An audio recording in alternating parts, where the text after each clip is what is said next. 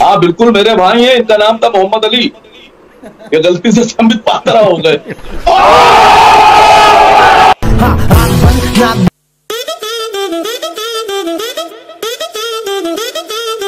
So welcome to all my subscriber to your voice as Rashid channel so guys जैसा कि आप लोगों को पता है, आसिम वकार और वारिस पठान, आज हम इनके ऊपर जो ये लोग गोदी मीडिया को रोस्ट करते हैं ना, एकदम मस्त, ऐसा तो वैसे वीडियो लाया हूँ। गाइस लास्ट तक वीडियो को देखना, आप लोग पेट पकड़ पकड़ के हंसने वाले हो। क्योंकि आज की बारी है, आज की बात सिर्फ़ ये है कि आज जो एक चीज़ है, वो है द वारिस पठान एंड वकार साहब के ऊपर ये वीडियो है तो आज उनका शो रहेगा, समझो, हमारे लिए उनकी ठग लाइफ के ऊपर। तो मैं बहुत एक्साइटेड हूँ आप लोगों के साथ शेयर करने के लिए बट उससे पहले एक चीज़ ज़रूर बोलूँगा कि अगर आप लोग इस चैनल पे नवे आए हो तो लाइक करो सब्सक्राइब करो शेयर करो, लोगों को बताओ फ्री प्रमोशन के बारे में। आपके अगर यूट्यूब चैनल ने कोई भी गलत चीज़ को सपोर्ट नहीं किया है तो हम लोग आपको फ्री में प्रमोट कर देंगे। डिस्क्रिप्शन में आपको मेरा Instagram Facebook page WhatsApp channel का लिंक मिल जाएगा। आप लोग सब मुझे वहाँ पे फॉलो कर लेना। आप लोग मुझे अभी डीएम करके बता सकते हो प्रमोट क्या करना है। आप लोग अगर वीडियो कुछ प्रमोट करना है तो मैं कर दूँगा। अगर आप लोग को टॉपिक सजेस्ट करना चाहते हो कि मैं उस पर रिएक्ट करूँ तो प्लीज़ ज़रूर से बता देना। और गाइस फेसबुक चैनल पे ये सब चीज़ भी आती है आप लोग वहाँ से भी मुझे व्यू कर सकते हो और एक्स्ट्रा ऐसी अच्छी चीज़ें उसमें आ चुकी है। नया पेज आप लोग ज़रूर से ज़रूर फॉलो कर लेना। तो गाइस चलो शुरू करते हैं आज का शो बोलते थे और मैं उनको अपने भाई की नज़र से देखता हूँ। A few moments later. Sambit Patra की जवाब बात का आपने जवाब नहीं दिया। किस बात का जवाब चाहते हैं? नहीं संबित पात्रा ने कई सारी बातें बोली। उन्होंने बोला कि आप आप भी उनके भाई हैं और आप के पूर्वज भी श्री राम को प्रभु ही मानते होंगे। हाँ बिल्कुल मेरे भाई हैं। इनका नाम था मोहम्मद अली। ये गलती से संबित पात्रा हो गए।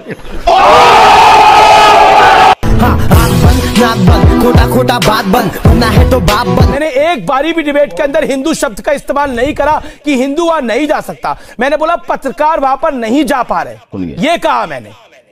जा रहे हैं पत्रकार। पत्रकार जा रहे हैं। मैक्से से अवार्डी पत्रकार जा रहे हैं।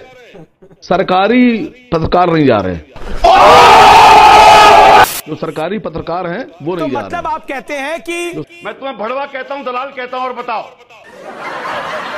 थोड़ी मर्यादा रखिए। अगर पलट के मैं आपको चार शब्द बोल दूँ तो कैसा लगेगा? ये परेशानी बहुत बड़ी है उस परेशानी की बात होनी चाहिए असीम वकार। बीजेपी से संबित पात्रा को बिठाया है उनको बोलने दीजिए। संबित पात्रा के नौकर नहीं है आप। आप आप मर्यादित बात करिए आप मर्यादित बात करिए कौन किसका नौकर है मुझे नहीं पता। खटपट खटपट अमीश भाई मैं आ सकता हूँ। खटपट खटपट आप बोलते होंगे। और बोल रहे हैं, खटपट खटपट खटपट खटपट खटपट खटपट खटपट खटपट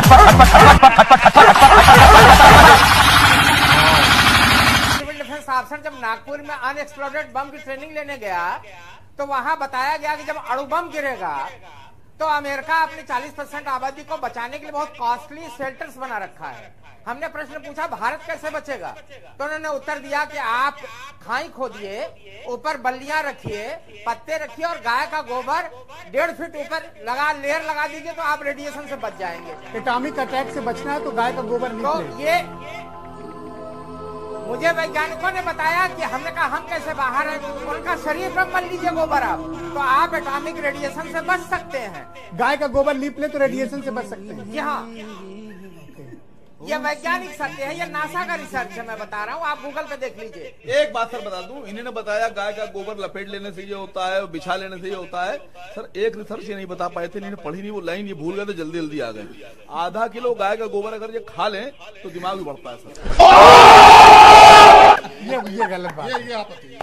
आधा किलो गाय का गोबर अगर ये खा लें तो दिमाग जेब में था चिल्लर साथ वाले किल्लर काम करे कांड वाले लाइव बेड़ा थ्रिलर वकार साहब वकार साहब असीम वकार साहब मैं आपसे जानना चाहूँगा कि आप लखनऊ से हमारे साथ जुड़े हैं और संयोग की बात है कि उत्तर प्रदेश के ही मुख्यमंत्री योगी आदित्यनाथ ने कहा था कि भाई केजरीवाल ने तो हनुमान चालीसा पढ़ ली अब ओवैसी भी पढ़ेंगे। तो मतलब आप भी लोग भी हनुमान चालीसा पढ़ने की तैयारी कर रहे हैं अपना वोट बैंक या बेस बढ़ाने के लिए। बताइए ओवैसी जी पढ़ेंगे Hanuman Chalisa? Sir sir sir 16 minute से सुन रहा था। बहुत शुक्रिया आपका कि आपने मुझे बुलाया और मैं आपके चैनल पर बैठकर। सर योगी जी ने ये बात कही थी चुनाव में जी। कि अर, अरविंद केजरीवाल ने तो पढ़ लिया अब ओवैसी साहब पढ़ेंगे। सर 2014 के चुनाव से पहले भारत सरकार ने वादा किया था कि दो करोड़ नौकरियाँ देंगे हर साल। पंद्रह लाख रुपए हर व्यक्ति को देंगे जो भारत के नागरिक हैं। पेट्रोल पैंतीस रुपए में बेचेंगे ये उन्हीं ने कहा था सर मैं नहीं कह रहा हूँ। वादा था सर उन्होंने कहा था कि जो नमक मिर्ची लगा दिए थोड़ा खालिद भाई। थोड़ी नमक मिर्ची लगा दी आपने वका आसिम भाई आसिम भाई। थोड़ी नमक मिर्ची लगा दी आपने चलेगा चलेगा। इतना चलेगा। मुझे ओवैसी जी की पार्टी से इतना चलेगा कोई दिक्कत नहीं। सर मुझे बोलने अरे मुझे बोलने दीजिए। सर मुझे बोलने दीजिए। बोले बोले बोले सर मुझे बोलने दीजिए। मैं आपके चैनल पर गुजारिश कर रहा हूँ और मैं आपसे निवेदन कर रहा हूँ दीपक चौरसिया जी मेरी बात प्रधानमंत्री गृह मंत्री और योगी जी तक पहुंचाइएगा। सर देश तक पहुँच रही है मैं ट्वीट भी कर दूँगा आपकी बात असीम बकार जी। प्रधानमंत्री को टैग करके ट्वीट भी कर दूँगा बोलिए आप। सुनिए सर सुनिए बोलने दीजिए। वो झूठी साची सब हाँ सुनिए सुनिए। पाँच साल में दस करोड़ नौकरियाँ हुई आप दे दीजिए। पाँच साल में। आप देश की आधी आबादी को पंद्रह पंद्रह लाख रुपए दे दीजिए। आप तीस रुपए में पेट्रोल बेच रहे हो। पैंतीस रुपए में बेच दीजिए। आपने तीन सौ सिलेंडर की बात की थी आप साढ़े तीन सौ में दे दीजिए। मैं वादा कर रहा हूँ मैं हनुमान चालीसा पढ़ दूँगा। समझ में आया क्या? समझ में आया। मगज में आया। नहीं नहीं ओवैसी साहब का प्रॉमिस करिए। बता दूँगा आपसे। ओवैसी साहब का प्रॉमिस करिए ओवैसी साहब उनसे पढ़ेंगे कि कहिएगा नहीं हनुमान योगी जी से योगी जी से कहिएगा आप। असीम भाई ओवैसी साहब पढ़ेंगे नहीं। अगर आप कह दी जगह जाकर कि आसिम वकार ने कहा है सुनिए सर आप बोलते बहुत है रिक्वेस्ट सर। आप सुना कीजिए थोड़ा सा तो अकल बढ़ेगी। अच्छा। अगर ये बातें जो मैंने कही अच्छा। है मोदी जी ये सर आपके साथ आपको मैं आपको मैं चौबीस घंटे लगातार सुन सकता चलिए, हूँ अगर अगर अकल बढ़ जाए तो। कुरान पढ़ना पड़े और ये सब देना पड़े। तो मैं समझता हूँ मैं समझता हूँ कि योगी जी कुरान पढ़ना पसंद करेंगे कुरान की आयतें पढ़ना पसंद करेंगे लेकिन नौकरी देना पसंद नहीं करेंगे। अरे बाप रे ये तो धोती खोल रहा है। अरे मोदी ने आपके गले में कुत्ते का पट्टा बाँध दिया है। मोदी ने आपके गले में कुत्ते का पट्टा बाँध दिया है। आप उसकी दुम में के घूमते रहे हाँ। बंद नाक बंद खोटा खोटा बात बंद बनना है तो बाप तो भाई जब हम मुगलों की डायनेस्टी के बारे में इनके शासनकाल के बारे में और भारत में रह के इन्होंने क्या किया क्या नहीं किया उन तमाम चीज़ों के बारे में अपनी इतिहास की किताबों में पढ़ रहे हैं तो अगर आरएसएस का इतिहास पढ़ा दिया जाएगा वारिस पठान तो कौन सी आफत आ जाएगी? आरएसएस वो संगठन है जिसने देश की आज़ादी की लड़ाई में कोई हिस्सा नहीं लिया। ये ब्रिटिशरों की गुलामी करते थे, ये उनकी चमचागिरी करते थे। आज़ादी के बाद से लेके बावन बरस तक इन्होंने हमारे तिरंगे को अपने नागपुर के हेडक्वार्टर पे नहीं लहराया। वजह कि यह तिरंगा आप शुगन है, इनका सुगंध था भगवा। इन्होंने कभी देश के लिए कुछ नहीं किया। इनका एक ही आइडियोलॉजी है हिंदू राष्ट्र बनाना हिंदुत्व को आगे फैलाना। तो अब ये हिस्ट्री में क्या बताएँगे? 1947 की पहले की हिस्ट्री बच्चों को पढ़ाना चाहते हैं कि हमारे देश के अंदर क्या हुआ। देश के हमारे महान जो नेता थे महात्मा गांधी उनके साथ किसने क्या किया? नथुराम गोडसे जो देश का सबसे बड़ा आतंकवादी है उसने हमारे पठान मतलब अगर ये आरएसएस वाले डर इस बात का है कि आरएस वाले इनको सिखाएँगे देश के किस तरह टुकड़े करना रिलीजन की बुनियाद के ऊपर। किस तरह से भगवा को आगे लाना किस तरह से गौ रक्षकों को मॉब लिंचिंग सिखाना किस तरह से देश के संविधान को नहीं मानना किस तरह से गोलकर की जो आइडियोलॉजी थी उसको इम्प्लीमेंट करना ये सिखाया जाएगा जो हमारे देश की डेमोक्रेसी के लिए खराब है। सही पकड़े हैं। साहब बहुत चलता हूँ याद रखना। मैं अभी तक लॉ एंड ऑर्डर कानून का कभी उल्लंघन नहीं किया। ये लोग शरीफ लोग हैं अपने यहाँ में चालीस साल से रह रहे इनको कोई परेशान नहीं करना। ये मस्जिद में हम लोग नमाज़ पढ़ रहे चालीस साल से। मस्जिद को बंद करने की कोशिश नहीं करना। लाउड स्पीकर बंद करने की कोशिश नहीं करना। और ऐसा रात को जूता पहन के घुसने का। औरतों के घर में औरतों के रूम में घुसा है औरतों ने बोला है। कोई घुसेगा देखो हम लोग प्यार से बात करते हैं। हम लोग बहुत लॉ एंड ऑर्डर को मानने वाले लोग हैं। हम कायदे कानून में रह के बात करते हैं। लेकिन अगर हमारे साथ आप अन्याय करेंगे ज़ोर ज़बरदस्ती करेंगे दादागिरी करेंगे। तो देशमुख साहब हम लोग की बात फिर छोड़ दो। सही बात है जो कानून का फैसला होएगा हमारा फैसला होएगा। हम खड़ा रहेंगे तुम मारो गोली तुम्हारे में ताकत है खाने को तैयार है हम लोग। बात सुनो मस्जिद जैसा चल रही है चलने दो। हॉस्पिटल जैसा चल रहा है चलने दो। दस बजे तक परमिशन है अपने को सब।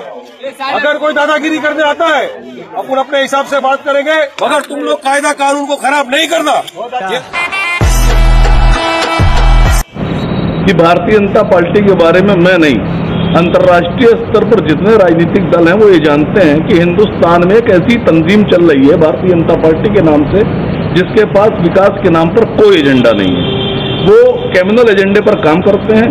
हिंदू और मुसलमानों को, दलितों को और अपर क्लास लोगों को और क्रिश्चियंस को और हिंदुओं को बांट कर राजनीति करते हैं और उन्हीं ने अगर कभी डेवलपमेंट की बात की तो वो ऐसा है जैसे हिंदुस्तान ने ख्वाब देखा। और मैं पहले भी कह चुका हूँ फिर कह रहा हूँ कि अगर 2017 और 2019 का चुनाव भारतीय जनता पार्टी ने विकास के नाम पर लड़ लिया और सांप्रदायिकता नहीं लेके आई बीच में तो मैं राजनीति से इस्तीफा दे दूँगा। गजब बेइज्जती है। सो so गाइस जैसा कि आप लोगों ने वीडियो देखा सबसे पहले तो बात कर दूँ कि आप लोग इस वीडियो को एक लाफिंग हिसाब से लेना इसमें मैंने किसी को गलत नहीं बोला कुछ नहीं।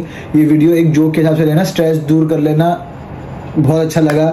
और मैं मानता हूँ कि कुछ कुछ बातें काफ़ी हद तक सही थी, ठीक है? लेकिन आप अपना कमेंट ओपिनियन में, अपना ओपिनियन कमेंट बॉक्स में ज़रूर बता सकते हैं मुझे, क्या आपको सही लगा, क्या आपको गलत लगा।